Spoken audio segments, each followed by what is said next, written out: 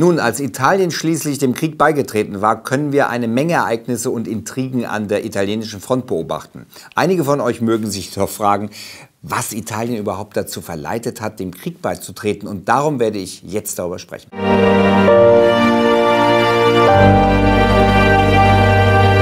Ich bin Christoph Krachten. Willkommen zu einem Special über Italien und die Ereignisse, die zur italienischen Kriegserklärung führten. Italienische Geschichte war eine ganz neue Sache. Tatsächlich wurde Italien erst 1861 zu einer einzigen Nation vereinigt. Das geografische Konzept Italiens, das von den Alpen bis zum südlichen Gipfel der Halbinsel ging, war zwar uralt, aber Italien wurde bis zum Fall des Römischen Reichs 1500 Jahre zuvor nie vereint. Aber die drei Kriege der Vereinigung, hauptsächlich gegen Österreich-Ungarn, gelegentlich auch mit französischen Eingriffen, führten zum erwünschten Ergebnis und die italienischen Patrioten unter der Führung von Giuseppe Garibaldi bekamen ihre Nation. Trotzdem gab es immer noch Boden, der nicht zu der italienischen Union gehörte, namentlich einige der südlichen Alpen und die Hafenstadt Trieste, die Teil von Österreich-Ungarn war. Und so war das Wort, das den Einstieg Italiens in den Krieg begleitete, Irredentismus, Zurückeroberung, Eroberung des italienischen Territoriums. Wenn wir uns nun Italien im Jahre 1914 anschauen, betrug die Bevölkerung etwa 35 Millionen und war somit die sechstgrößte Nation Europas. Italien war jedoch arm und hauptsächlich landwirtschaftlich geprägt und im Vergleich zu anderen großen Ländern ziemlich unentwickelt. Ihr Einkommen pro Kopf zum Beispiel war gerade mal die Hälfte von Frankreichs und der Analphabetismus war unter den Italienern sehr hoch. Obendrein produzierte Italien nur wenig Stahl, war abhängig von britischer Kohle und sogar in Sachen Nahrung auf den Import von Weizen angewiesen, um zu überleben. Außerdem gab es trotz der Vereinigung kein wirkliches Gefühl von nationaler Zusammengehörigkeit unter großen Teilen der Bevölkerung. Es bestand nicht mal eine ethnische Gemeinsamkeit durch die Sprache. Ein Venezianer und ein Sizilianer zum Beispiel konnten sich nicht verstehen.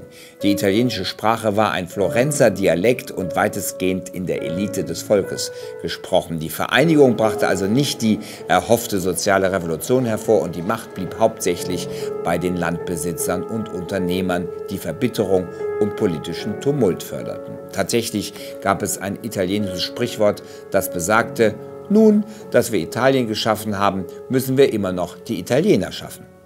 Politisch gesehen war Italien eine konstitutionelle Monarchie mit Victor Emanuel III. auf dem Thron, wie auch noch nach dem Zweiten Weltkrieg. Diese Ära war jedoch politisch hauptsächlich von dem Premierminister Giovanni Giolitti geprägt. Die Zeit von 1901 bis 1914 wird auch Giolitti-Ära genannt. Er war der Meister des Transformismus, die Kunst, die rechts- und linksextremistischen Parteien aus der Politik auszuschließen und eine zentrale, gemäßigte Koalition zu erstellen. Er war liberal und genehmigte eine Reihe von fortschrittlichen sozialen Reformen, die den allgemeinen Lebensstandard verbesserten. Als der Krieg ausbrach, war er kein Premierminister mehr und wurde 1914 durch den konservativen Antonio Salandra ersetzt. Giolitti war nun bei einem Großteil der Extremisten verhasst, besonders von denen, die für den Irredentismus waren. Sie betrachteten ihn als einen Spießer, dessen Ideen klein waren und an Inhalt mangelten. Ich sollte noch erwähnen, dass es viele Extremisten in Italien gab und die radikalen Bewegungen dort viel aggressiver als die meisten in Europa waren. Sogar in der Kunst kann man diese Strömungen erkennen, wenn man sich zum Beispiel die futuristischen Skulpturen des Umberto Boccioni oder die Werke des Poeten Gabriele D'Annunzio anschaut, in denen er nationale Helden darstellt, die die Vorteile von allem Modernen anpreisen. Autos, Waffen, Schnelligkeit, Fliegen und andere radikale nationalistische Ideale. Italien erprobte sich schon einige Jahre vor dem Ersten Weltkrieg auf der großen Weltbühne, insbesondere im italienisch-türkischen Krieg in den Jahren 1911 und 1912, der zwar Libyen für Italien sicherte, es jedoch wirtschaftlich ruinierte und einen großen Einsatz an Männern forderte. Noch vorher im Jahre 1882 trat Italien dem Dreierbündnis mit Deutschland und Österreich-Ungarn bei. Dieses Bündnis war ein schützender Pakt, der besagte, dass wenn einer der drei von einer einzigen Nation angegriffen würde, keiner eingreifen würde. Wenn es jedoch zwei oder mehr Angreifer waren, würden die anderen zwei einschreiten und sich gegenseitig verteidigen. Das Bündnis sollte ursprünglich am 8. Juli 1914 auslaufen, wurde aber 1912 erneuert und der Artikel 7 wurde hinzugefügt. Dieser Artikel garantierte beiden Vertragsstaaten, in diesem Fall Italien und Österreich-Ungarn, Vergütung, wenn einer der beiden entweder temporär oder permanent Territorium im Balkanstaat einnehmen sollte. Das ist sehr wichtig. Im Juli 1914, ein paar Wochen nach dem Attentat auf Franz Ferdinand, warnte Italiens Außenminister Österreich, dass wenn Österreich Serbien den Krieg erklären würde, ohne Italien zu informieren, sie durch Artikel 7 Entschädigung verlangen würden. Österreich strebte zwar nicht nach Territorium, erteilte aber das Ultimatum an Serbien, ohne Italien Bescheid zu geben. Die italienische Regierung empfand diesen Akt als einen Verstoß gegen diesen Artikel und entschloss sich, eine neutrale Rolle einzunehmen und war somit von seinen Pflichten befreit. Und das war's. Mal, das war's nicht. Die Bekanntmachung der Neutralität Italiens löste einen öffentlichen Tumult aus. Es gab Streiks und Demonstrationen und als die Monate vergingen, fragte man sich weniger, ob Italien dem Krieg beitreten würde, sondern eher, auf welcher Seite es kämpfen würde. Es gab, wie ich bereits gesagt habe, viele Hitzköpfe, welche wirklich einen Krieg wollten und besonders die, die österreichisches Land wollten. Das Kabinett war sehr anti-österreichisch und Salandra, der neue Premierminister, unterstützte den Einstieg in den Krieg an der Seite der Entente. Wenn ihr unsere wöchentlichen Folgen schaut, wisst ihr bereits, dass der Winter zwischen 1914 und 1915 keine leichte Zeit für Österreich-Ungarn war. Gedemütigt im Kampf gegen Serbien, das Verlieren eines riesigen Symbols des Habsburger Stolzes, die Festung Przemyśl an die Russen und sogar eine russische Invasion. Die Situation war ziemlich verzweifelt. Wenn ihr also Italien wärt, was würdet ihr tun? Welcher Seite würdet ihr euch anschließen? Deutschland und Österreich? Nun, was würde das bringen? Österreich war augenscheinlich genauso wenig wie Deutschland daran interessiert, ein Engagement Italiens auszuzeichnen und seinen Gewinn zu teilen. Wenn man der Entente beiträte mit dem österreichischen Imperium auf den Knien, könnte man sein Gebiet zurückerobern, das Adriatische Meer kontrollieren und eine Macht im Balkanstaat werden. Das erschien ziemlich einfach zu dieser Zeit. Und vergesst nicht, Österreich war nicht besonders beliebt in Italien, denn welcher Verbündete hatte schon 700.000 italienisch sprechende Einwohner?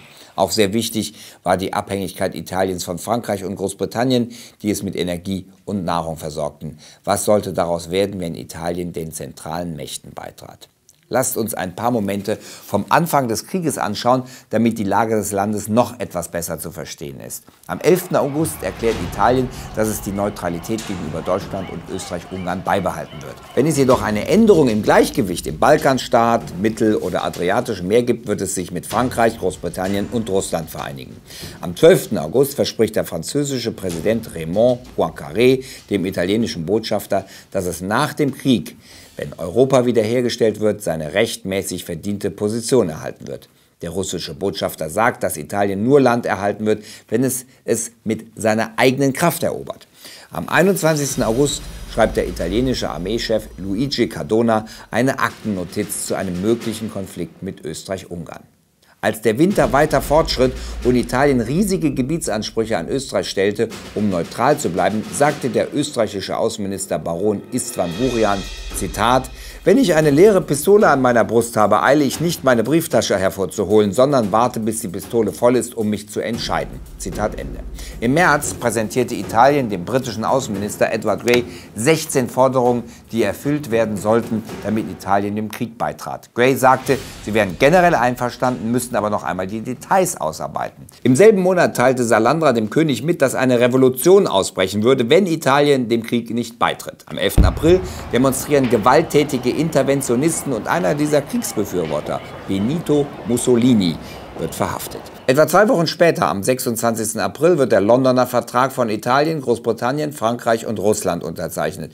Laut dem Vertrag erhält Italien Südtirol, Trieste, Albanien als Protektorat, die Adriatischen Inseln, ein Teil der Türkei, wenn die Osmanen besiegt sind, koloniale Zuschläge in Afrika und 50 Millionen Pfund. Außerdem soll kein Papst an einer möglichen Friedenskonferenz teilnehmen. Im Gegenzug soll Italien keinen Sonderfrieden nach dem Eintreten in den Krieg abschließen. Es beanspruchte ein paar Monate für Salandra, den Eintritt in den Krieg der Allgemeinheit zu erklären, da die meisten gegen den Krieg waren. Aber er verkaufte es ihnen und am 23. Mai erklärt Italien Österreich-Ungarn den Krieg.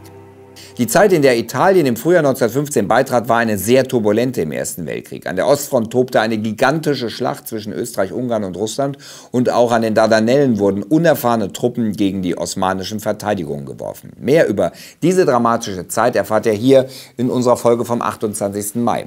Was denkt ihr über die Bedeutung von Italien im Ersten Weltkrieg? Waren sie kriegsentscheidend oder hätte ihre Neutralität auch nicht viel geändert? Schreibt es uns in die Kommentare. Wenn euch unser Kanal gefällt, dann empfiehlt uns doch euren Freunden, Kollegen oder eurem Geschichtslehrer. Und über einen Daumen nach oben und ein Abo, bing, freuen wir uns natürlich genauso. Bis dann. Bleibt dran.